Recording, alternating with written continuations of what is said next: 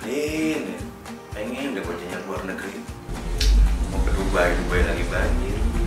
Mau ke Hawaii punya celananya doang. Paling celana Hawaii juga Dubai di pasar Senen. Ya. Kenapa sih setiap kita ngobrol tuh malu aja isinya? Lagian ngapain sih keluar negeri? Lagian di Indonesia tuh banyak banget destinasi wisata yang Mas Bruno harus kunjungin. Ya tapi kalau emang punya duit ya nggak apa-apa sih kalau mau keluar negeri punya enggak Pertanyaan itu itu. itu dia masalah Wika yang kagak nih jangan begayaan ke sono-sono. Di Indonesia dulu aja. Bagus banget ada yang mirip di luar negeri. Mau tahu nggak yang mana? emang ada Ada di Sumatera Barat. Padang dong Ini berarti. emang orang taunya udah soto ini kayak Padang dong, padahal salah.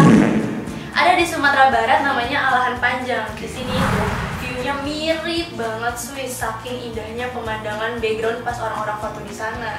Dia itu ada di Kabupaten Solo. tempatnya jauh nggak dari kota Padang Enggak, cuma dua jam aja. Terus Mas Bruno bisa ngeliat view yang indah. ya penasaran itu susah kita loh Sabar, sabar, sekarang Ya. agak sabaran banget. Yang pertama itu Hmm. ada namanya danau di atas dan danau di bawah. Ya bisa dibilang danau ini itu dibilang danau kembar. oke Terus di sini udaranya sejuk banget tapi nggak ada saljunya ya. Hmm. Airnya juga dingin banget. berarti jarak antara danau tadi? Danau di atas dan, dan di bawah deket dong berdeket Iya bener, jaraknya cuma 300 meter aja, jadi gampang dijangkau. Terus yang keunikan si danau di atas dan di bawah ini, Hmm. tau nggak? Posisi danau di atas ini justru lebih rendah dibandingkan danau di bawah. Gitu. Oh, jadi maksud lu gini kan? Kalau kita bilang danau di bawah, justru Hmm. bukannya menurun, malah menanjak. Bener. Kalau kita bilang danau di atas, bukannya menaik, malah menurun. Ih, pinter banget. Habis lebaran makan nastar berapa kemarin? Kasta ingat sih. Eh, harus ke sana Mas Bruno. Iya dong, iya. Danau di atas dan danau di bawah. Hmm. Di sana juga Mas Bruno bisa nyewa perahu. Terus dengan background yang keren banget pasti orang-orang bilangnya, "Wih, di Swiss lu." gitu. Wah. Pengen nggak? Pengen banget sih, malah keren kali kalau sama. Iya. Terus Mas Bruno um, ke mana ya di situ ya? Ke Bukit Cambai. Pedas dong. Cabai itu. Orang bercanda mulu isinya. Jadi di Bukit Cambai ini Oke. eh, bagi yang suka pecinta alam dan adventure. Mas Bruno kan orangnya olahragawan banget nih, kelihatan kan? Makasih banget. Iya, sama-sama. Untuk ininya ya, masih pergolanya, ya terus. terus. Terus yang bikin uniknya lagi, dia jangan nangis Ah.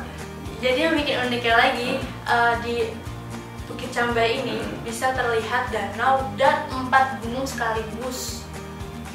Keren nggak tuh? Keren banget lah, biasanya ada satu gunung atau satu apa gitu. Mm-mm. Ini ada empat gunung sekaligus. Oh, danau. View-nya juga pasti keren segala macam dan tiket juga pasti mahal. Sepuluh ribu. Seriusan? Iya. Masih mahal sepuluh ribu. Coba. Bener deh. beneran harus ke sono. Terus kalau udah ke Bukit Cambai itu ke kebun teh alam panjang. Oke. Karena di sana tuh banyak banget yang harus Mas Bruno memoriin agar mendapat kenangan yang banyak.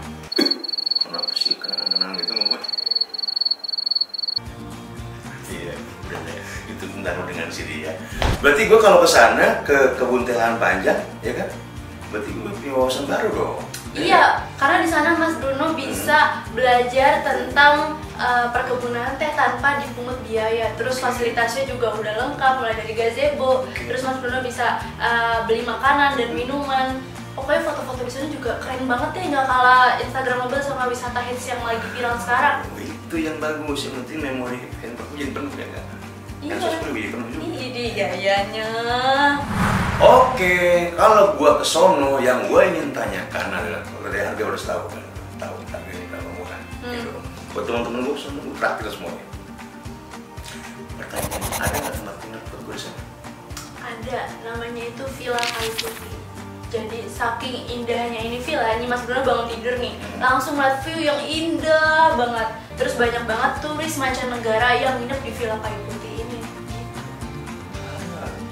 Hmm, enggak sih, sih kisaran enggak sih kisaran 700 ribu sampai 3 jutaan aja per malam. Tapi fasilitasnya juga udah bagus banget orang viewnya juga aja keren banget. Wah harus sono itu. Karena apa? Ya bagi gua 300 ribu super baik 3 sampai 3 juta? Iya 3 juta dia 700 sampai 3 juta. Iya, 700 sampai 3 juta. Ya jadi masalah. Yang penting lo pemandangan yang bagus. Jadi mau ke sana kenangan yang indah ya enggak mm -mm. ya besok gua langsung sono gua bakal tidur di depan lobbynya ya yeah biarin aja dia? Berhayal kagak bener. Iya. Ngomong sono. Alahan panjang.